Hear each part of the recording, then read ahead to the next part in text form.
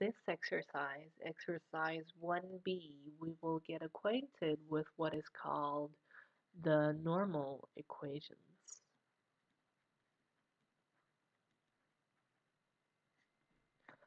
Now let us first uh, take a look at the setup of the entire thing uh, and also the notations of the normal equations in this video.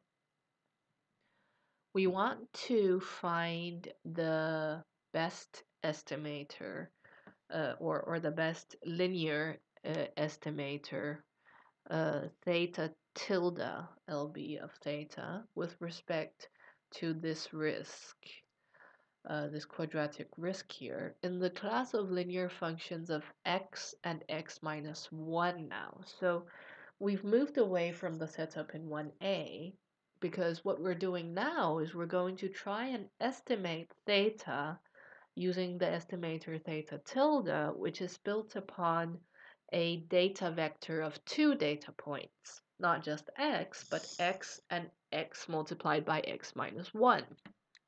Now, this is kind of a weird construction because you might be like, so if this is Johnny's policy, does that mean his claim number in the first year is X and his claim number in the second year is the claim number of the first year multiplied by that minus 1 why do we even want to look at it? And so on and so on.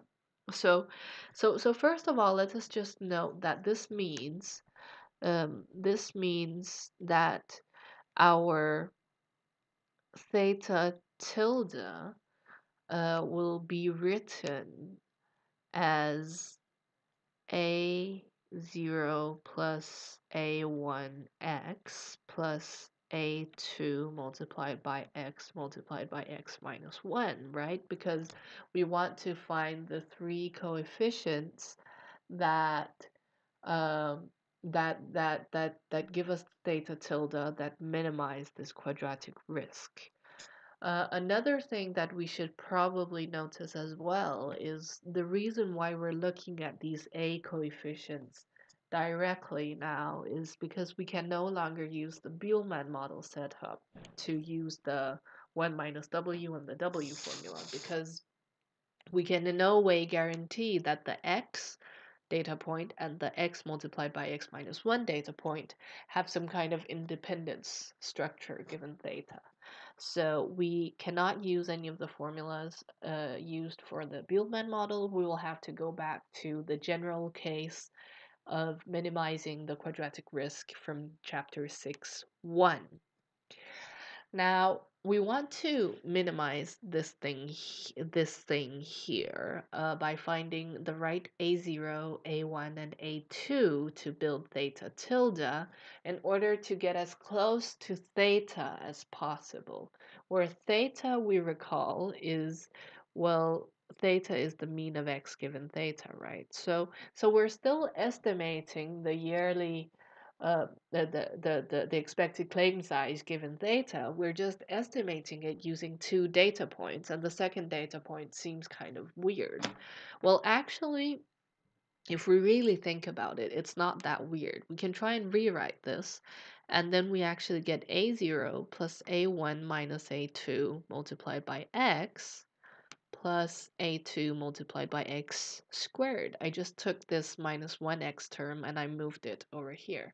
So essentially what we're doing in exercise B is saying instead of finding a linear estimator uh, of theta, actually we shouldn't call it linear at all. We should call it a polynomial estimator.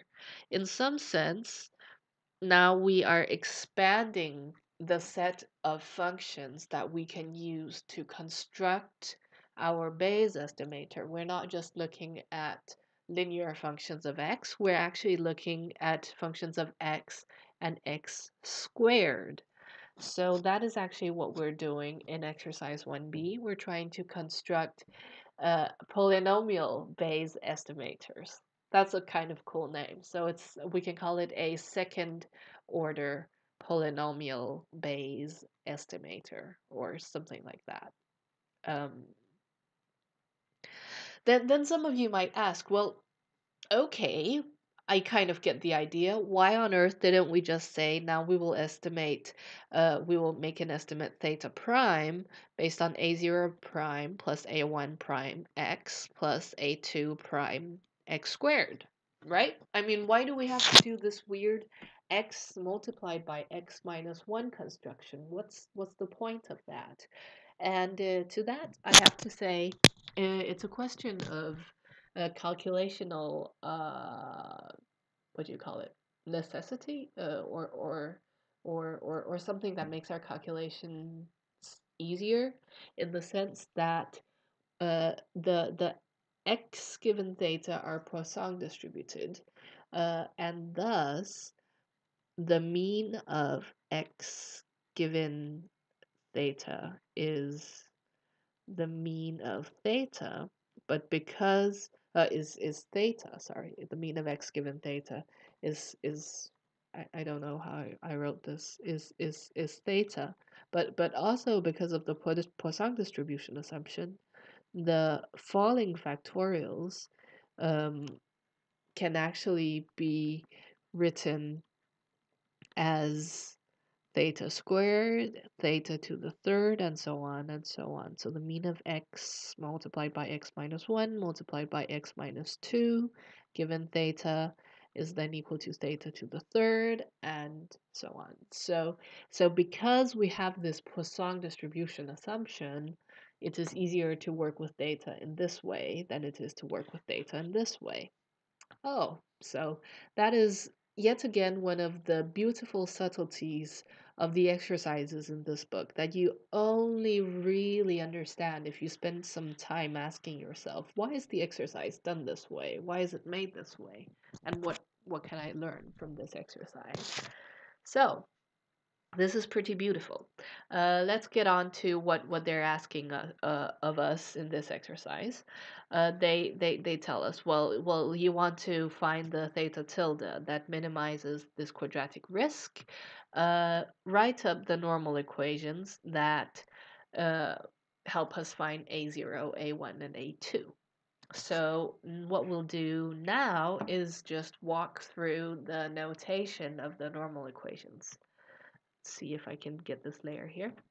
Okay, so the normal equations that we use in the case where we have uh, an m-dimensional data vector and we want to find the y hat that minimizes this expression here with respect to the y, well, the normal equations we use then, they are written as this system here.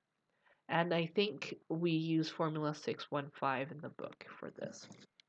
And essentially what you do is you take the thing that you want to find the estimate for, which is x, and you write its covariances with each of the yi, each of the data points on one hand, and then on the other hand, you write the covariances of the approximation y hat with the data points, and you want to get them to be as equal to each other as possible and you find the a's that do that.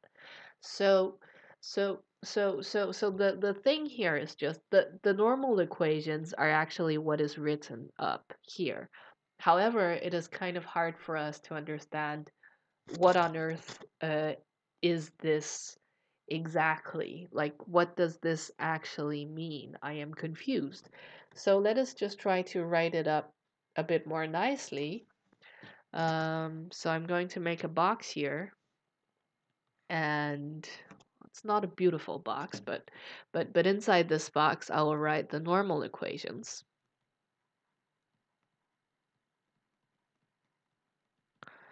And the first thing that we have to notice is if you have m data points, then that implies that you will have to write up m plus 1 equations because there is one A belonging to each data point, A1 up to AM, and then you have the A0 intercept. That has nothing to do with any of the data points. So the first equation is the mean of x is equal to the mean of y hat.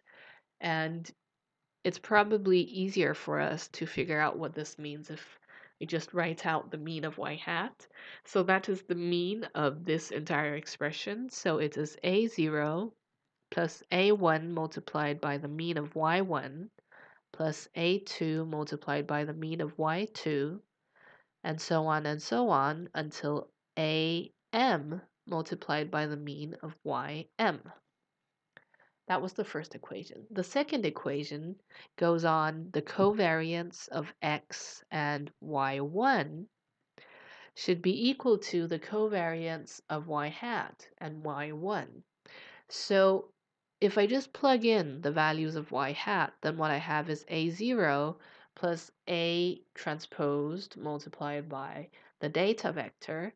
So that is the inner product of two vectors, which quite simply is ak multiplied by yk, summed for all the k's up to m, have this covariance with y1. Now, the the covariance is bilinear in the sense that uh, if I have a sum of terms in the first argument, then I can split the covariance up into the covariance into the sum of covariances. So the first term in that sum would be the covariance of A0 and Y1. The covariance of a constant with anything is always zero. The deterministic constant is independent from everything else always. So the first term is just zero. So what I have left is just the sum of each of these covariances with y1 and I can take the constant outside. So I have the sum of ak multiplied by the covariance of yk and y1.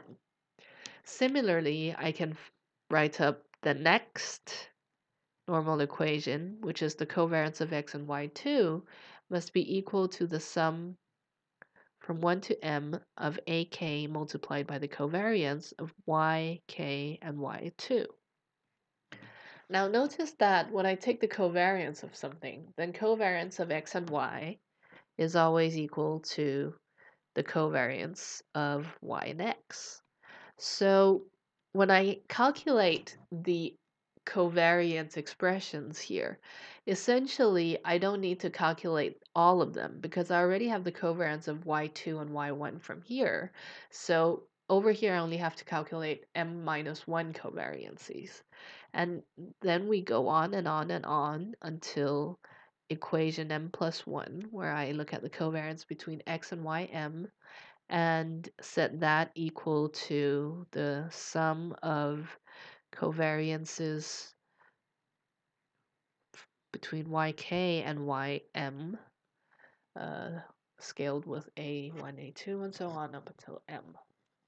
So let us just count for fun the number of expressions of x and y's and so on that we need to calculate just in order to just write up the normal equations.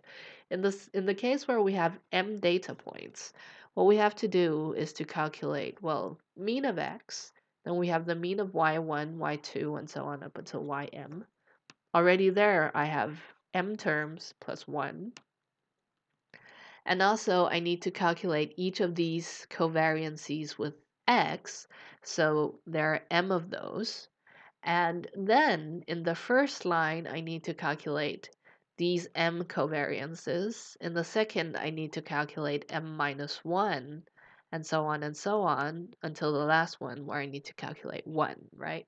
So um, the number of uh, of of different covariance and mean value expressions that we need to calculate just in order to write up the normal equations is 2m plus 1 plus uh, m squared multiplied uh, m squared minus m divided by 2 plus m.